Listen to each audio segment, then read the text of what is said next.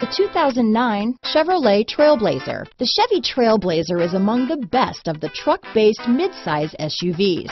It's capable of hauling heavy loads and negotiating rugged off-road terrain. Yet it's also smooth, comfortable, and civilized. This vehicle has less than 140,000 miles.